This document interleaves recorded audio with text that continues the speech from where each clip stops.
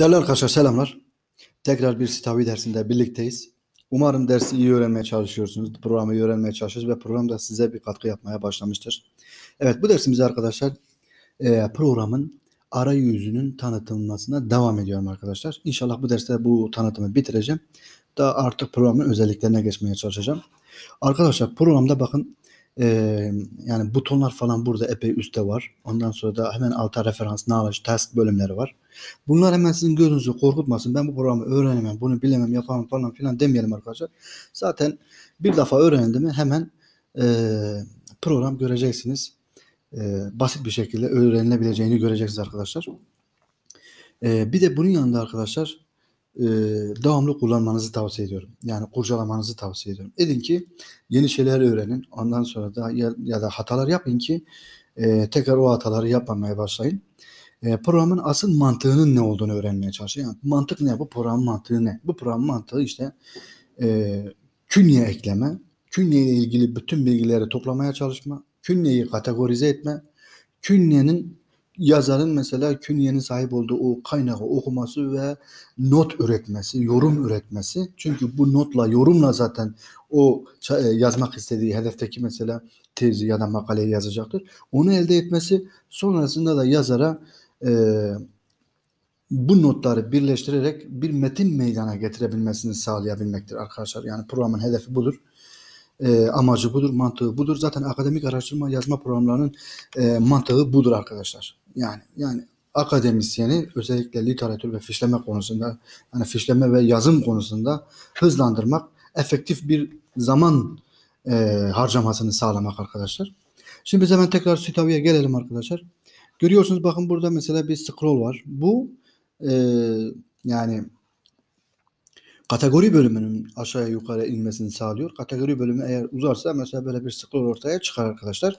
Şu kısım ne? Hemen buradan başlayalım arkadaşlar. Evet bu kısım ne? Ee, özür dilerim bununla ilgili bilgi verdim ama şu üst kısımlara değinmedim. Bu kısımlarda mesela kısa kısa bilgiler vereceğim. Ondan sonra da bu kısmı yani kategori bölümünü daha ayrıntılı bir şekilde incelemeye çalışacağım. Şimdi şurada referans bölümü var. Burada e, knowledge bölümü var. Burada task bölümü var. Bakın farklı farklı yerlere gittik. Hemen testten başlayalım. Bakın arkadaşlar burada eğer mesela bir e, kaynakla ilgili bir görev ortaya koyacaksam ne yapıyorum hemen? E, onunla ilgili bir test meydana getiriyorum. Bu test bölümü aldığım mesela e, yani verdiğim görevler hepsi burada. Bakın araştır, araştır. Ondan sonra oku, oku, oku. Ondan sonra eğer önemli mesela notlar varsa buraları mesela otomatikmen alıyorum. E, daha farklı mesela e, yani o an aklıma ne geliyorsa onları almaya çalışıyorum. Burada mesela current task yani şu anda mesela bir görev var mı yok mu important olanlar yani önemli olanlar yani proje görevleri falan burada programın görev yetkisi var. Siz buraya pek fazla girmeye çalışmayın hemen. Yani bu şu anda sizin kafanızı karıştırmasın. Orada kar ee, şu ve şu çok önemli arkadaşlar. Knowledge bölümü yani bir eserle alakalı üretmiş olduğumuz e, künyelerin e, bulunduğu bir yerdir. Yani size şö- şöyle söyleyeyim. Yani bir kitap okuduğunuz zaman bu kitapla ilgili yazar paragraflarla tabii bu yani kitabı ya da mesela o makaleyi meydana getirmişsiniz. Siz paragraf paragraf okuduğunda o paragrafta mesela yazar ne söylemek istiyorsa onunla ilgili mesela not üretiyorsunuz. Bakın mesela hemen bir tıklayalım. Mesela ne yazmışız burada? Burada mesela Balkanlardaki dağılma hakkında. Mesela işte burada ben not yazmışım. Demişim ki ben, yazar bu bölümde Balkanlardaki ulusalcı eylemleri nasıl geliştiği hakkında bilgi vermeye çalışıyor. İşte burada ne yapıyorum? Benimle ilgili olan mesela noktayı yakalamaya çalışıyorum. Bu hangi süreçte gerçekleşiyor? Eseri okumanın ilk süreçlerinde gerçekleşmeye çalışıyor. Hemen orayı daha belirgin hale getiriyorum. Bakın dikkat edin. Anahtar kelimeler üretiyorum. İstersen mesela kategori verebiliyorum. Bakın şu anda kategoriler var. Evet bu kategorilerin nasıl oluşabileceğini de size göstereceğim. Ee, ondan sonra da diyelim ki grup var. Mesela gruplara da ekleyebiliyorum. Bakın. Böyle bir çalışma grubum var. Onu ekliyorum. Notları da ekliyorum. Bakın dikkat ederseniz hem notları kategorize ediyorum hem de e, kaynakları kategorize edebiliyorum arkadaşlar. Şunlar var. Şunların görevleri farklı. Mesela notu nereden almışım? Hangi bölgeden almışım? Oraya link koyuyor.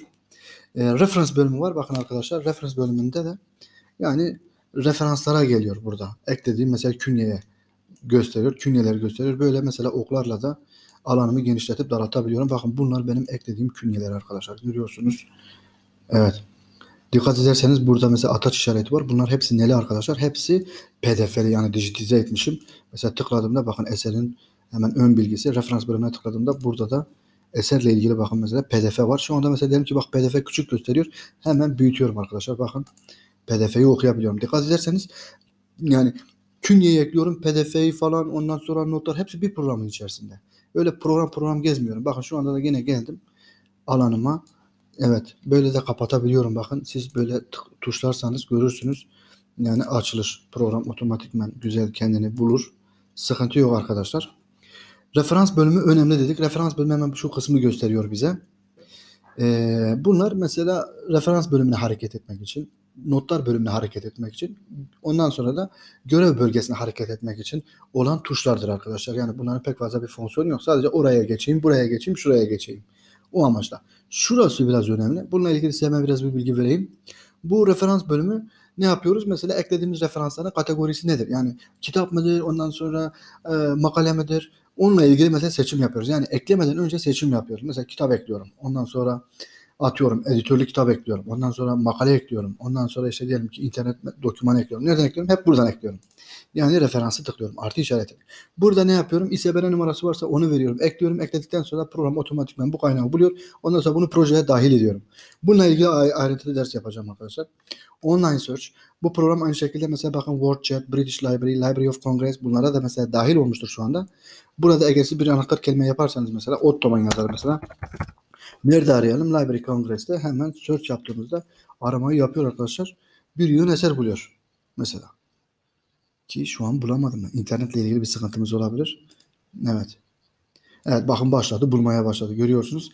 Böyle bakın 9000 eser var arkadaşlar. Bunu hemen buluyor. Siz istediğini seçiyorsunuz. Bakın şu anda 18'de durdum. 18'de durdum. Ne yapıyorum? Bunu seçiyorum. Projeye dahil et. Et proje. Projeye dahil et arkadaşlar. Evet. Şu kısım onu gerçekleştiriyor. Bu kısım online search. Bu kısım find full text. Yani mesela şöyle mesela bunların mesela yani tekstleri yok. Yani bunları mesela program bulabiliyor. Bu konuda ilgili size bilgi vereceğim. Yani program online araştırma yaparken böyle hani full teksti olan yani pdf'si olan program e, makaleleri de bulabiliyor. Kitapları da bulabiliyor e, search program içerisinde gerçekleşen aramadır. Çok kapsamlı bir araştırma yapar bu. Her şeyi tarar arkadaşlar. Yani eklediğiniz her bilgiyi tarar ve sizin önünüze getirir. Bu proje bibliografi yani mesela şu anda bir projem var. Ee, bunlar biraz İngilizce kafanızı karıştırmasın ama yani şimdi ben arşiv yapmışım. Epey bir 392 tane eser eklemişim.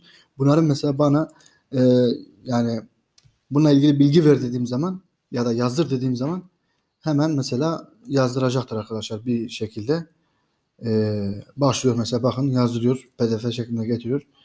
Bunlar hepsi benim kaynakçam bakın. Evet. Ondan sonra da table yani table şeklinde ver. Yani kaynakçayı table şeklinde ver. Böyle bu şekilde ver. Görüyorsunuz. Yani kaynakçanıza da çok rahat bir şekilde ulaşabiliyor. Burada mesela atıf bölümü var. Bakın mesela atıf. Yani mesela şurayı tıkladığınızda atıf atmak istiyorsanız. Bu da böyle uzun yoldan manuel bir atıf arkadaşlar. Ee, bunu seçip seçebiliyorsun işte Word'a Word'a gönder. Ondan sonra Word'a dipnot olarak gönder. Ondan sonra copy, ondan sonra diğer programlara gönder. Ya da hemen kopyala, ekle falan. Bu top bölümü var arkadaşlar. Bu da hemen kafanızı karıştırmasın. Ee, ne demek? Bu o an projeyle ilgili mesela aklınıza bir şey gelecekse mesela buraya ekliyorsunuz. Ondan bunu da kategorize edebiliyorsunuz. Ve eklediğinizde de arkadaşlarıma söyleyeyim bir e, düşünce silsilesi meydana getiriyorsunuz. Sonrasında mesela buraya bakıp da aldığınız notları görebiliyorsunuz. Bunun dışında, bunun dışında mesela üst menünün dışında yani burada da bakın mesela şeyler var. Burada araçlar, list, Mesela list nedir? Mesela ne listi? Anahtar listesi ver, kategori listesi ver, grup listesi ver. Ondan sonra e, süreli yayınlar listesi ver. Publisher listesi ver. Yani yayıncılar listesi ver. Hemen versin bakın. Bu kadar yayıncı var. Yani eklediğim künyenin ait olduğu yayıncılar. Görüyor musunuz arkadaşlar? Bunlar hepsi var. Mesela tıkladığımda kim yapmış mesela bunu gösteriyor hemen. Ondan sonra list bu işe yarıyor. Ondan sonra citation burada citation style bu önemli arkadaşlar. Buraya değineceğiz. Yani stili belirleyeceğiz arkadaşlar. Evet dersin sonuna geliyorum arkadaşlar. Dikkatinizi çekelim. Ee, reference bölümü var. Bakın buralar önemli. Yani buralarda burada yaptığımız işlemlerin mesela artık butonsal şekli yani ara, ondan sonra import et, online search, online aramaya, find full text. Bunlar hepsi burada var zaten. Yani pek fazla mesela buraları kullanmayacağız arkadaşlar. Ben pek fazla kullanmıyorum. Benim kullandığım alan daha çok şu kısım, şu kısım, şu kısım ve şu kısım. Bir de şu kısım arkadaşlar. Knowledge bölümü.